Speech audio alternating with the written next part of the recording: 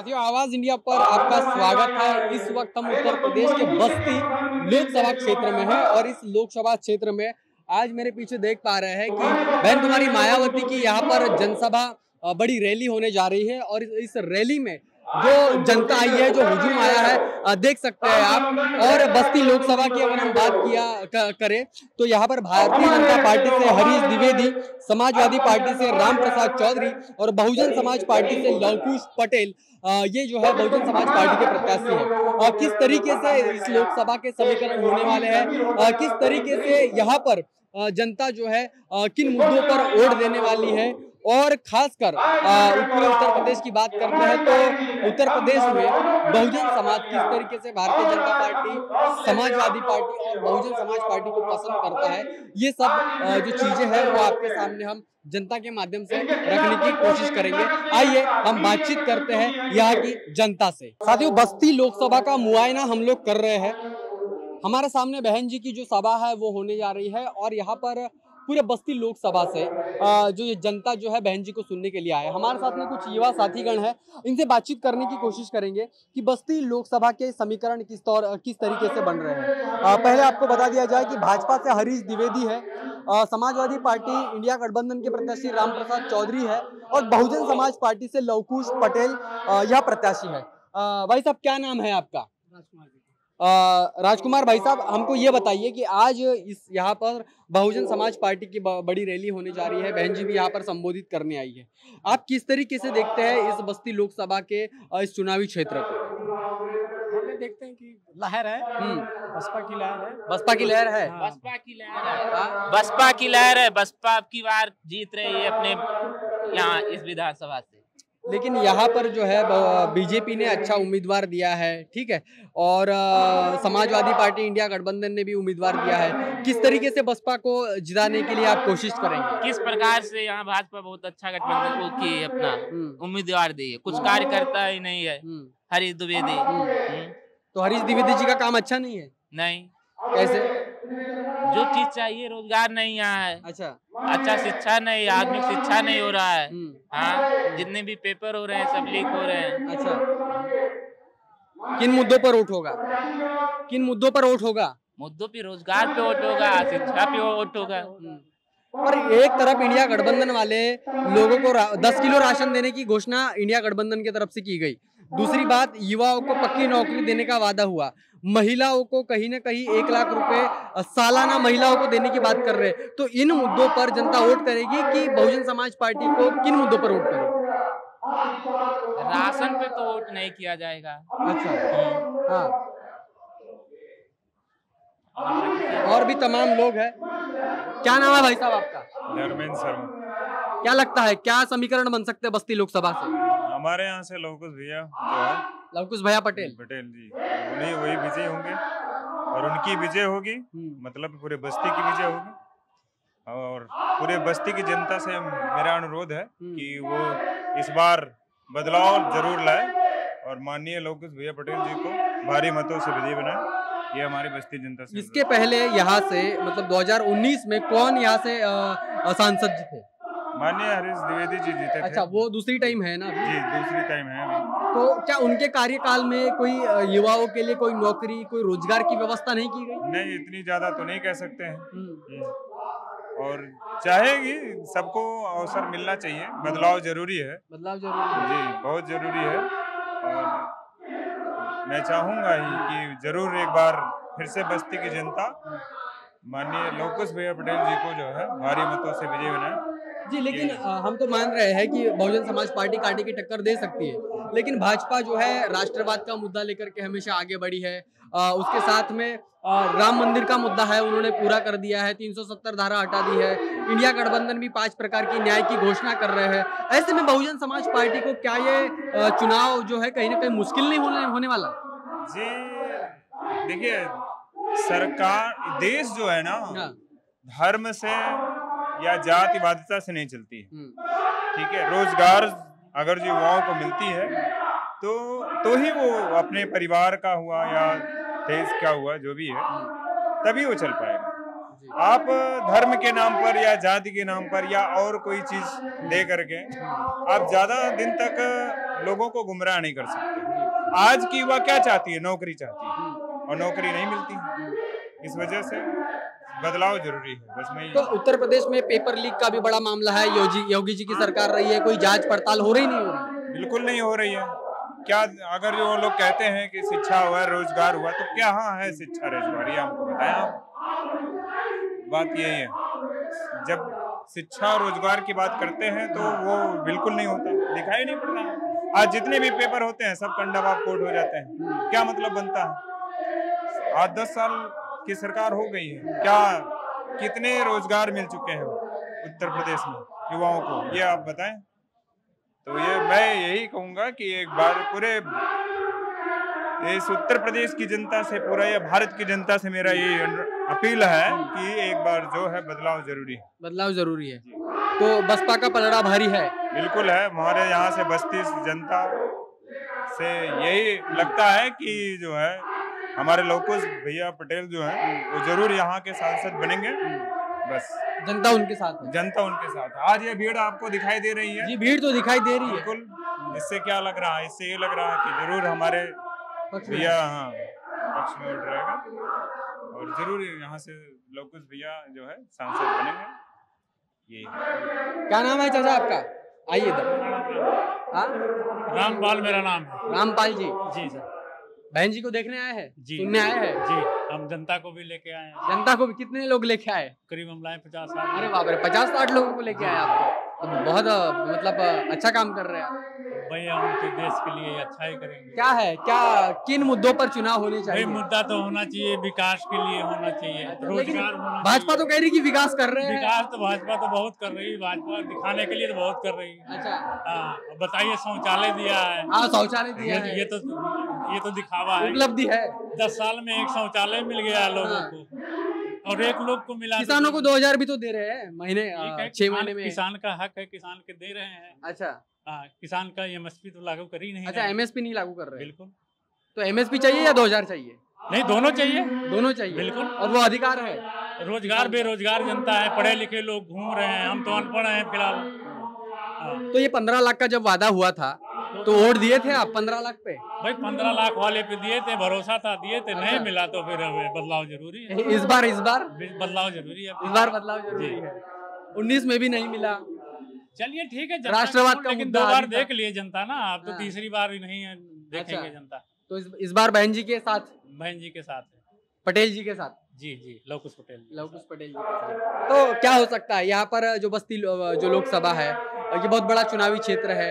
ऐसे में इंडिया गठबंधन पाँच न्याय की गारंटी दे रही है लोगों को नौकरी देने का वादा हो रहा है तो ऐसे में बहुजन समाज पार्टी का क्या रणनीति होगी सब लोग वो तो दे ही रहे हैं हाँ। कोई अपना अपना जिसके जो है वो सब अपना हाँ। दे रहे हैं हम ये देंगे वो देंगे लेकिन समय आ जाता है तो लोग पीछे हट जाते हैं अच्छा हाँ। जैसे मोदी जी पंद्रह लाख देने के बोले थे हाँ तो पंद्रह लाख लोगों को तो मिला नहीं। काला धन भी बाकी बेरोजगारी तो मिल गया। काला धन भी बोल रहे थे। काला धन कहाँ चला गया? किसके बीच में आया काला धन? अच्छा। अगर आप भी बताइए मीडिया आप भी हैं मीडिया वाले हाँ। तो काला धन आया तो लेकिन गया कहाँ? उसका भी तो होना चाहिए कोई। ये भी मुद्दा है। ये भी मुद्दा है बिल्कुल। काला धन आखिर आया करोड़ों में आया काला धन गया कहाँ? अच्छा आया लेकिन गया कहाँ? गया कहाँ? भाई किसी कोई जनता या कोई गरीब व्यक्ति पा गया हो हाँ। तो उसके लिए भी कोई अच्छा। हाँ तो मिला तो है नहीं काला धन आ गया अच्छा शिक्षा स्वास्थ्य की क्या व्यवस्था? स्वास्थ्य रोज़गार। हम्म, हाँ। तो यहाँ शिक्षा और स्वास्थ्य व्यवस्था अच्छी नहीं है? बिल्कुल नहीं अच्छी है। अच्छा। अब तो बिना आधार कार्ड के नहीं जाओगे आधार कार्ड भूल गए तो चले जाओ घर वापस। अच्छा। ऐसा ऐसा नियम लागू हो गया आधार कार्ड ज़रूरी कर दिया बिल्कुल ज़रूरी कर दिया। आधार कार्ड ले जाओगे तो पर्ची कटेगी तब डॉक्टर के पास पहुँच पाओगे। अच्छा। हाँ। टैक्स भी तो बढ़ा रही बढ़ा दिए जीएसटी लगा दिए। भाई बढ़ाने को तो सब कुछ बढ़ा दिया लेकिन धरातल पे उतरता नहीं है ना। धरातल पे आ जाए तब तो ठीक है। अच्छा। भाई तो ये अस्सी करोड़ लोगों को जो राशन दिया जा रहा है तो वो सही है? नहीं बिल्कुल नहीं सही। कैसे सही नहीं है? हराम का खाने लोगों को तो लो, लोग तो पेट भर रहा है। आपको बताते हैं जब हमारे पीछे आप दस रुपए खाओगे हमारे पीछे दौड़ोगे जी। आप वाली तो हमारी वाली करोगे आप ना? हाँ, तो ये है ये तो लोगों को जो है एकदम वो कर दे रहे हैं। हाँ। हाँ। तो रोज़गार चाहिए राशन नहीं रोज़गार चाहिए। हमें राशन नहीं चाहिए रोज़गार चाहिए। सबको हाथ पैर भगवान ने दिया सब अपना कमा खा सकता है। व्यवस्था रोज़गार की व्यवस्था रोज़गार पढ़े लिखे आप जैसे जवान कितने घूम रहे हैं। अभी पेपर हो रहा था तो पता नहीं क्या हो गया लीक हो गया कहाँ गया कितने साल बाद आएगा हाँ। कितने आदमी की तो उम्र ही खत्म हो अच्छा जाएगी उम्र निकल जा रही है। बिल्कुल चले जाएगी तो क्या करेंगे? और सरकार खामोश है। सरकार खामोश रहेंगे फिर फौड़ा उठा लेंगे और नरेगा में जाएँगे तो दो सौ चार रुपया पाएँगे। तो योगी जी के कार्यकाल से खुश नहीं है बिल्कुल नहीं खुश है सर। वो तो बुलडोजर चला के न्याय दिला रहे हैं। बुलडोजर चला के तो कितने को गिरा रहे हैं लेकिन वो गिराने वाले को किसी को मिलना चाहिए ना। अच्छा। जैसे आप करोड़पति है तो आपका धरातल हाँ। बुलडोजर चल गया तो कोई जनता को दस बीस लोगों को तो मिलना चाहिए ना। तो ये मुद्दे है। बिल्कुल मुद्दा है। और इस बार बसपा यहाँ से टक्कर देगी? देगी ज़रूर टक्कर देगी बसपा। तो बसपा टक्कर देगी ऐसा भाई साहब का कहना है। और भी लोगों से बातचीत करते हैं और जा, जानेंगे लोगों की क्या प्रतिक्रिया है लोग किस तरफ़ देखते हैं। और भी जो लोग हैं हमारे साथ में जुड़ चुके हैं और बातचीत करने की कोशिश करेंगे कि बस्ती लोकसभा के क्या समीकरण बनने वाले हैं। क्या नाम है भाई साहब आपका? वीरेंद्र कुमार। क्या करते हैं आप? पढ़ते हैं अभी। अच्छा पढ़ते हैं। क्या मुद्दा होना चाहिए? हैं। हैं?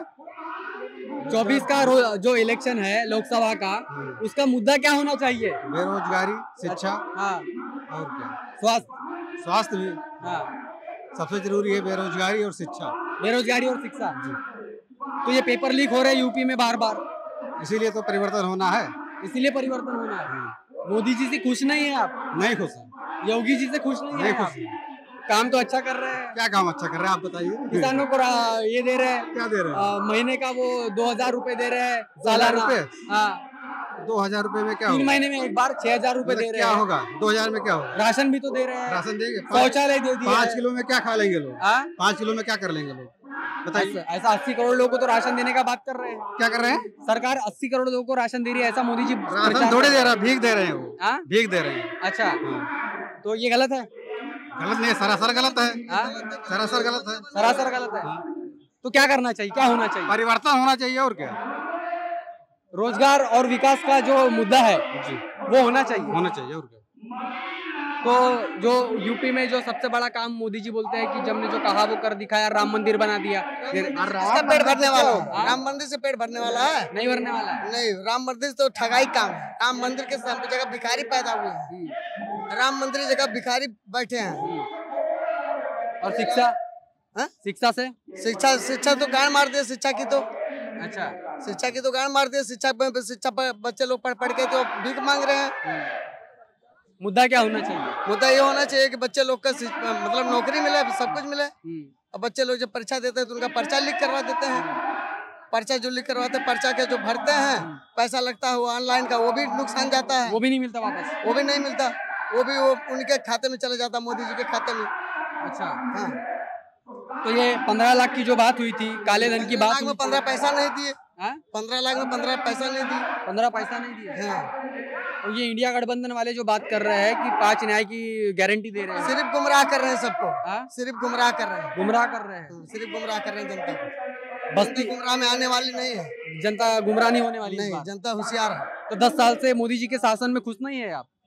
बिल्कुल खुश नहीं है। जनता एक पैसे की खुश नहीं है। एक पैसे की। वो तो बोल रहे कि मैं गरीबों का नेता हूँ।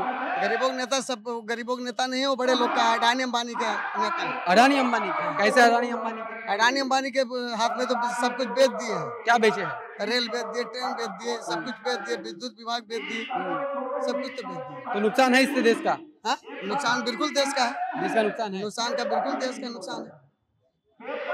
तो इस बार बस्ती लोकसभा से कौन आएगा? लवकुश पटेल। पटेल लवकुश पटेल। हाँ बीएसपी के। क्यों लवकुश पटेल क्या मुद्दे हैं? बीएसपी के जमाने में बीएसपी मायावती जी ने बहुत कुछ कर दिया। है तो अभी बहुत कुछ कर दिया। बहन जी का शासन याद आ रहा है आपको? हाँ शासन आ रहा है। कैसा शासन हुआ था बहन जी का? बहुत अच्छा शासन हुआ था। आ? बहुत अच्छा। नौकरियाँ मिली थी? बहुत लोगों को मिली थी। अच्छा। जो नौकरी के लायक थे। हाँ। जात पक्ष में नौकरी नहीं दी बहन जी। हाँ। जात पक्ष में बहन जी ने नौकरी नहीं दी है। कि मैनपुरी इटावा में अखिलेश के जैसा यादव को नौकरी भर दो। अच्छा। हाँ। तो अखिलेश यादव जात पे नौकरी देते हैं? हाँ मैनपुरी में हर थाना हर चौकी देखो यादव हर यादव हर थाना चौकी पे अगर दस सिपाही सब बिरादरी के तो दस सिपाही यादव बिरादरी के हमारे साथी हैं। जी भाई साहब क्या कहे कहेंगे आपकी बस्ती लोकसभा का मुआयना हम लोग कर रहे हैं। जनता का रुझान किस तरफ़ है? जनता का रुझान बहुजन समाज पार्टी की तरफ़ से है। हाँ। और बहुजन समाज पार्टी 2007 से लेकर 2012 तक सरकार रही है लेकिन कभी किसी के साथ भेदभाव नहीं किया। अच्छा। किसी के साथ अमीरी गरीबी का भेदभाव नहीं किया। उन्होंने पूंजीपति और गरीब का दोनों का अलग नहीं किया। सबको साथ लेकर के चली। अगर नौकरियाँ मिली तो हर वर्ग को मिली। हर जाति को मिली हर वर्ण को मिली। और नौकरियों के साथ साथ में जो भी सरकार की सुविधाएँ रही, चाहे वो अंबेडकर ग्राम विकास योजना के तहत हो, चाहे शिक्षा के माध्यम से रहा हो, चाहे दवा के माध्यम से रहा हो, सारा का सारा कुछ जनता को लाभ मिला। जनता बड़े अमन चैन के साथ सांस ले रही थी। आज उसी समय को याद करते हुए बहुजन समाज पार्टी को लोग याद कर रहे हैं। लोग कहते हैं कि बहुजन समाज पार्टी गठबंधन में नहीं गई, गठबंधन में किसी ने नहीं बुलाया हमको। बहुजन समाज पार्टी को किसी ने गठबंधन में नहीं पर गठबंधन वाले तो बोल रहे थे कि हम बहन जी की तरफ़ जाने की कोशिश कर रहे हैं बहन जी की तरफ़ से कोई रिप्लाई नहीं आ रहा है और इस गठबंधन में नहीं आने की वजह बहन जी को बी टीम बोला जा रहा है ऐसा है भाजपा की बी टीम बोला जा रहा है भाजपा की जो बी टीम है हाँ। जो बोला जा रहा है आज समाजवादी पार्टी के अध्यक्ष माननीय अखिलेश यादव जी के परिवार में हाँ। उनके परिवार में उनके भाई उनकी भाभी उनकी बहन हाँ। सभी लोग बीजेपी से चुनाव लड़ रहे हैं हाँ। आप बीजेपी को किस तरीके से बीएसपी को किस तरीके से बी टीम कह सकते हैं? जिनका पूरा परिवार आज बीएसपी की तरफ़ और बीजेपी की तरफ़ से चुनाव लड़ रहा है हाँ। और बहन जी को कहा जा रहा है कि बी टीम है।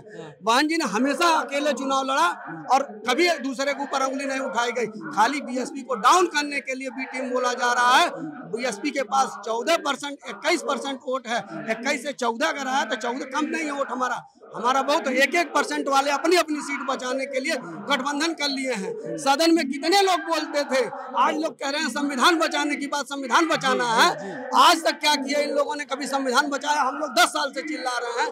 बीजेपी आएगी तो संविधान पे चोट करेगी। लेकिन आज के समय में बीजेपी ने क्या किया और इन लोगों ने क्या किया सदन में? बहन जी जब समाज के लिए बोल रही थी देश के बारे में बोल रही थी बहन जी का कोई साथ नहीं दिया। बहन जी अकेले पर्चा दे वहाँ से बोलकर अपने समय को छोड़ करके और पर्चा फेंक करके अपना सदन से वापस आ गए और इस्तीफा देने का काम किया। ऐसी स्थिति में कोई सांसद नहीं बोला।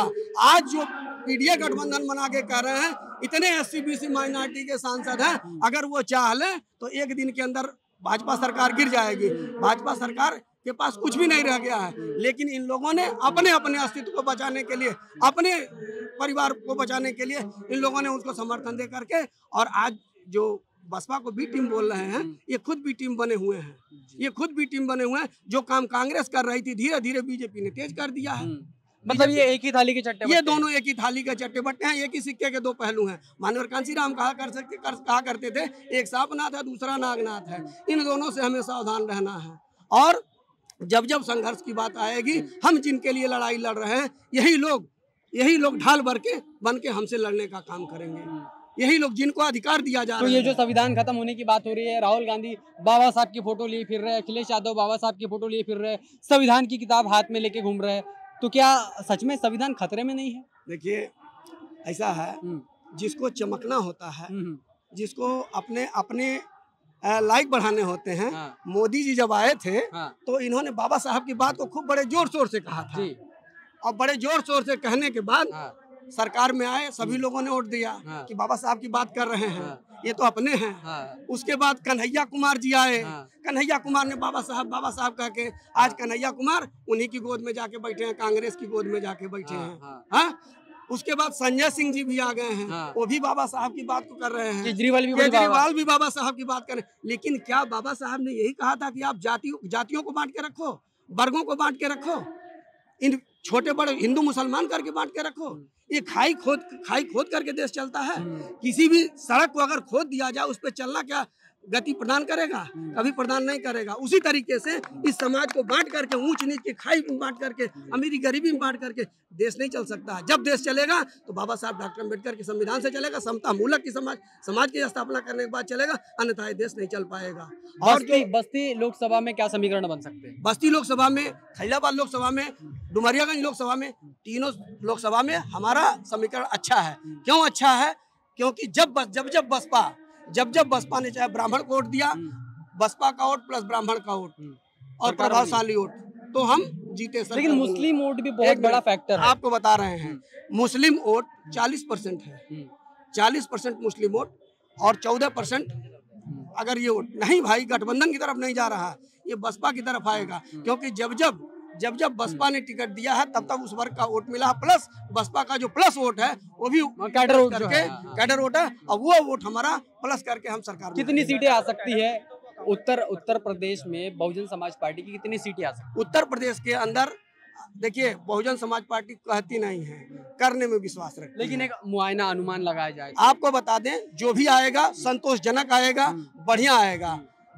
इतिहास अभी 19 में 10 जो लोकसभा सीटें बीएसपी को मिली थी सपा गठबंधन के साथ में। इस बार कोई गठबंधन नहीं है। क्या 10 से आंकड़ा बढ़ सकता है? बिल्कुल बढ़ेगा दस से आंकड़ा। जब जब बसपा अकेले चुनाव लड़ी हमेशा फ़ायदे में रही गठबंधन में जब जब रही तब तक बसपा का नुकसान हुआ है। जब जब बसपा पहले 14 में तो ज़ीरो थी अकेले लड़ी। चौदह में ज़ीरो थी ना लेकिन आपकी ऐसा नहीं होता है कि हमेशा ज़ीरो रहेगी। बसपा आपकी प्लस करेगी और अच्छा प्रदर्शन करेगी। पूरे देश के अंदर अच्छा प्रदर्शन कर रही है। पूरे देश के अंदर बसपा अकेले लड़ रही है। सभी लोग गठबंधन से लड़ रहे हैं लेकिन बहुजन समाज पार्टी पूरे देश के अंदर अकेले चुनाव लड़ रही है। तो बहुजन समाज पार्टी पूरे देश के अंदर अकेले और ताकत से चुनाव लड़ रही है। भाई साहब ने कहा है कि जब भी बसपा अकेली चुनाव लड़ी है दुगनी तेज़ी से निखरी है। और भी पीछे हमारे साथ में लोग हैं बातचीत करने की कोशिश करेंगे कि वो इस समय क्या सोचते हैं। सर क्या नाम है आपका? अर्जुन प्रसाद। आज इस समय बस्ती लोकसभा में आप है और बहन जी की यहाँ पर रैली हो रही है। क्या समीकरण हो सकते हैं इस बस्ती लोकसभा सीट के? बस्ती लोकसभा हम तो लोकसभा बस्ती के नहीं है खलीलाबाद के हैं। इलाहाबाद के? खलीलाबाद अच्छा खलीलाबाद के। हाँ। क्या परिस्थिति क्या है पूरे देश में? माहौल क्या है? माहौल तो बहन जी का अच्छा है। बहन जी का माहौल अच्छा है? हाँ। परिवर्तन हो सकता है? जी जी परिवर्तन होगा। लेकिन भाजपा तो 400 पार कह रही है। अब भाजपा 400 पार कर उसको उसको क्या कहा जा सकता है? आप ही कहे तो 400 पार हैं हम। अपने मन से तो कैसे मान लिया? हाँ तो वो तो अपने मन से ही कह रहे हैं। हम उनकी तो बात मन से कर रहे हैं। कहने दीजिए उनको। हम्म। मगर बहन जी के जो वोटर हैं बहन जी के साथ खड़े हैं। आम जनता किसके साथ खड़ी है? आम जनता भी है बहन जी के साथ। अच्छा। हम्म, क्या मुद्दे होने चाहिए? क्या मुद्दे? चुनाव के मुद्दे रोज़गार होना चाहिए शिक्षा होना चाहिए स्वास्थ्य व्यवस्था होनी चाहिए। क्या मुद्दा क्या होना चाहिए? आपने देखा एक बार बहन जी की सरकार बनी थी। हाँ।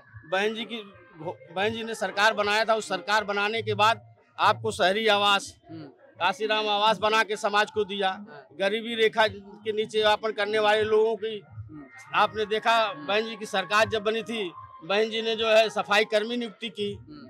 और जिस सरकार की बात करते हैं अब ये सरकार तो पंद्रह लाख कितना क्या जुमलाबाजों की सरकार पंद्रह लाख का वादा भी हुआ था। पंद्रह लाख का वादा हुआ था आपने देखा कहीं? नहीं तो वही पूछ रहा हूँ मिले आपको? नहीं हमको कहा हम बता तो रहे हैं कि किसी को मिला हो तो कोई बतावे। क्यों भाई वो मिला है? किसी को किसी को पंद्रह लाख नहीं मिला। तो बहन जी ने वादा नहीं किया काम करके समाज को दिखाया है। अच्छा। आपने देखा होगा उनकी सरकार में हाँ। सफ़ाई कर्मियों की नियुक्ति हुई जो पूरे भारत में हम्म। किसी प्रांत में इतनी सफ़ाई बड़ी कर्मियों हाँ, सफ़ाई कर्मियों की नियुक्ति नहीं हुई। और बहन, तो बहन जी कामों में विश्वास करती है। हाँ बहन जी कामों में ये घोषणाबाजी और जुमलेबाजी में नहीं करती। नहीं नहीं। तो ये इंडिया गठबंधन पाँच न्याय की गारंटी देखते हुए फिर रहा है। अभी इंडिया गठबंधन वालों ने बोला है कि वो दस किलो राशन कर देंगे। ये उनका मामला है। वो उनका हाँ?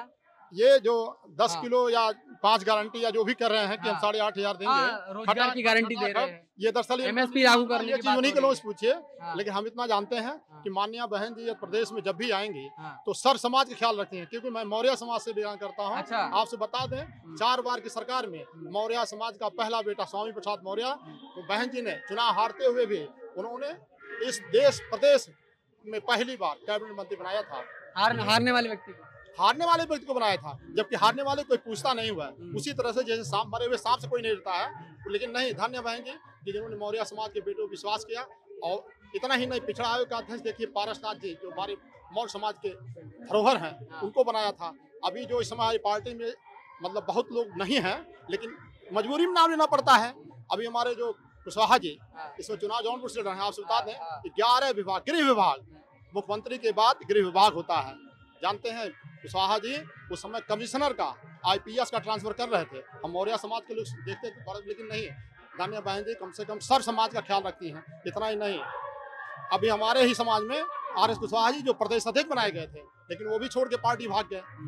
ये लोगों का उनका निजी मामला है, उसमें हम नहीं पढ़ना चाहते हैं, लेकिन क्या जानते हैं कि बहन जी, निश्चित रूप से, यदि हम लोग इस चुनाव में अच्छी सफलता निश्चित मिलने का आसार है, जैसे मिलेगा, तुक बैठेगा तो आप देखे होंगे इसके पहले भी कई लोग बहुत कम सांसद थे वो लोग प्रधानमंत्री बने थे। निश्चित रूप से ऐसा आसार दिखा आसार है बहन जी के प्रधानमंत्री जी जी। निश्चित रूप से यही जो समय आएगा निश्चित रूप से इनको मिला के इस देश का प्रधानमंत्री इनको बनाएँगे। क्या कहते हैं चाचा? ब- सही बात है कि बहन जी को प्रधानमंत्री देखना चाहते हैं? स्टेट बात करें सीधे सीधे। बहन जी बहन जी कितने ताकतवर नेता हाँ। पूरे भारत में कोई नहीं है। चालीस करोड़ की चालीस करोड़ शेड्यूल कास्ट कम्युनिटी का आदमी उनके साथ उनके ऊपर छाता की छा, छाता समझते हैं अम्ब्रेला हाँ अम्ब्रेला वैसे जो है छाए रहते हैं हम लोग। बहन जी ने जिस घर जिस जिस व्यक्ति के पैर में टायर का चप्पल नहीं अटता था उसको नौकरी देकर लिबर्टी और जो है एडिडास और जो है टॉप क्लास की कोई ऐसा सफ़ाई कर्मी नहीं है जिसके घर एक लग्जरी कार ना हो। जिस भाई न्याय न्याय संगत था। उन्होंने और पूरे प्रदेश में कितने वो स्टेट हैं पूरे देश में कितने स्टेट हैं जरा आप बताइए आप जाते हो जानते होंगे पूरा? किसी भी प्रदेश का मुखिया मुख्यमंत्री जो है एक भी अपने वहाँ पद सृजित नहीं किया। किसी के किसी के कलेजा में दम नहीं था कि सेल्फ डिसीज़न लेकर विभाग बनाकर भर्ती कराकर और एक पूरे प्रदेश में एक लाख दस लाख एक लाख दस हज़ार के लगभग सफ़ाई कर्मी नियुक्त करवाया। और बैक लाख के तहत जो है हाँ तो नौकरियों पर बड़ा काम किया है बहन जी ने। और और सरकार में जब सरकार थी मायावती जी की बहन जी का जब कर, कर, सरकार होता है तो पूरे विश्व में मैं तो कहता हूँ पूरे विश्व में इतनी बेह, इतने बेहतरीन किस्म की कोई को, इतने बेहतरीन किस्म का कोई शासक नहीं है और ब- बशर्ते लेडी समाज का महिला समाज की तो एक भी नहीं है पूरे विश्व में जो ऐसा अ, लेकिन लेकिन ये मोदी मोदी जो बोल रहे हैं। नहीं करिए ये बट नहीं करिए बंद कर दीजिए अब। क्या मोदी मोदी? नहीं ये मोदी जी तो 400 पार बोल रहे हैं। मोदी जी तो कहते हैं मोदी जी तो कहते हैं हम चार सौ नहीं पाँच सौ तैतालीस सौ हमारा। अच्छा। ऐसा कहते हैं। हाँ। तो उनके कहने से मान लिया जाए आज आज आप लोग आप आप लोग आपे छाप दे चार सौ पार के आप छापते होंगे। नहीं नहीं हम नहीं चाहते। मीडिया भी उनके हम सोशल मीडिया वाले सोशल मीडिया वाले हो तो अगर इसलिए तो यहाँ आए हैं। अगर हम नहीं तो नहीं तो आप देख लीजिए। अगर आप सोशल मीडिया वाले हैं अगर आपको जैसा लगेगा ऐसा इसको इसका कवरेज हम ऐसे ही दिखाएँगे आप ऐसे हैं, दिखाइए बातें ऐसी और दिखाई उसके बाद जो है मतलब इससे इसके बाद कोई कोताही मत करिएगा। जैसा हम बोल रहे हैं जैसा ये बोल रहे हैं जैसी जैसी भीड़ है वैसा छाप दीजिए। सर्टनली आप आप इसी मंडल के रहने वाले हैं? नहीं हम तो महाराष्ट्र बम्बई से महाराष्ट्र से हैं? बम्बई से हैं ये इस मंडल में तीन मेंबर ऑफ़ पार्लियामेंट की सीट है। और एक जमाना था कि तीनों पर हम लोगों ने चढ़ के हाथी पर हाथी हाथी सवार हो गए। तीनों वहाँ क्या नाम?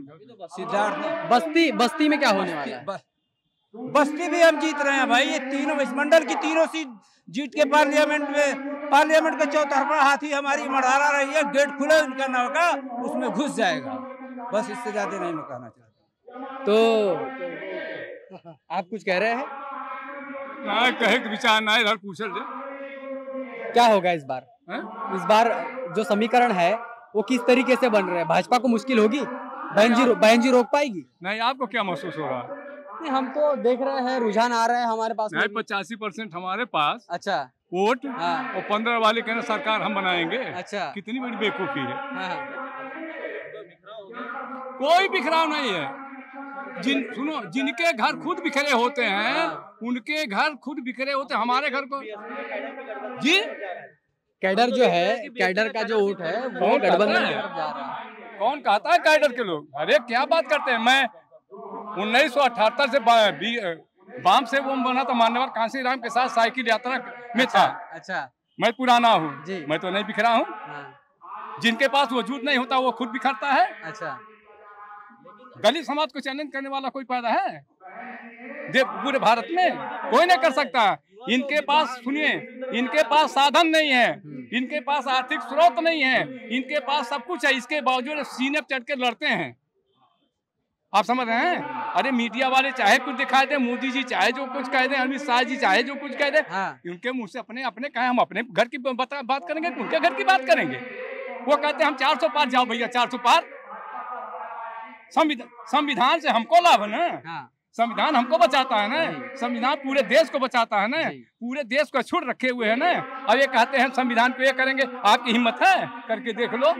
यही दलित समाज।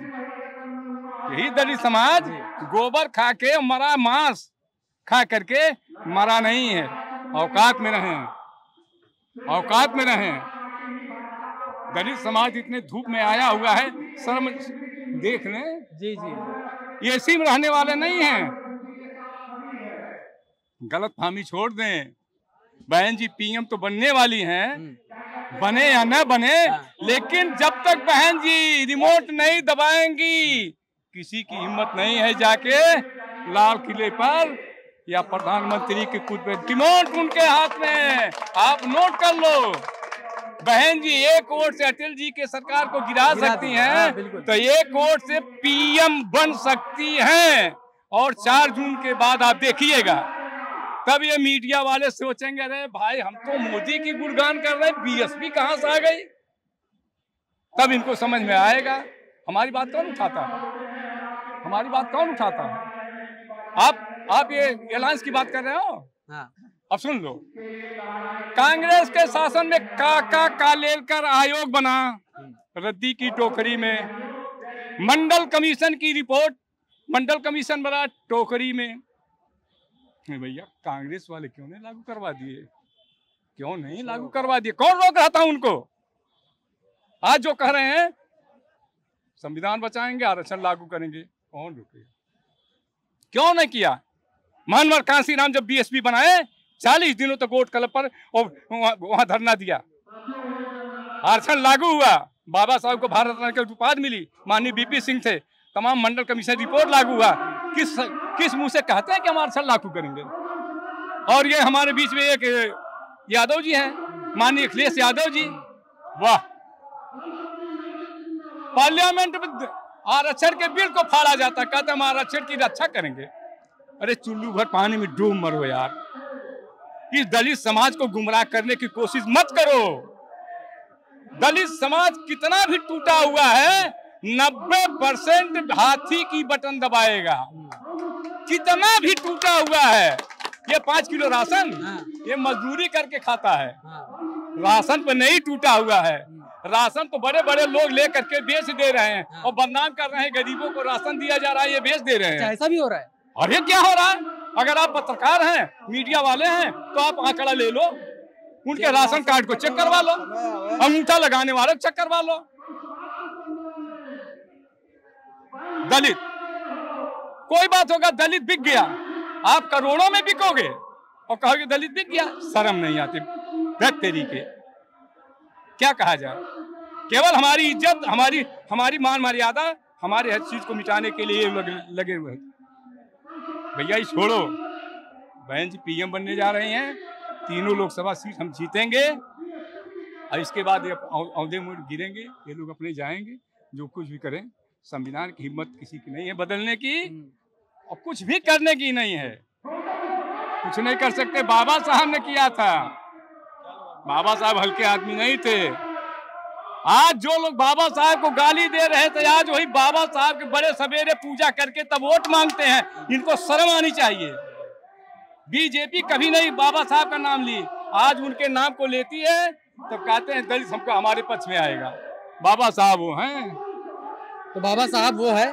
और किस तरीके से इस समय दलित समाज, बहुजन समाज और ओबीसी और मुस्लिम समाज बीएसपी के साथ है हम लोग जनता से बातचीत कर रहे हैं तो समझ में आ रहा है कि इस जगह बस्ती लोकसभा के आजू बाजू के जो भी क्षेत्र है, इन तीनों लोकसभा क्षेत्रों में बहुजन समाज पार्टी अच्छा परफॉर्मेंस करेगी। और समय आने पर चार जून को यहाँ के नतीजे जो है, रुझान जो है, वो आपको बता दिए जाएँगे। आप देख रहे हैं आवाज़ इंडिया टीवी।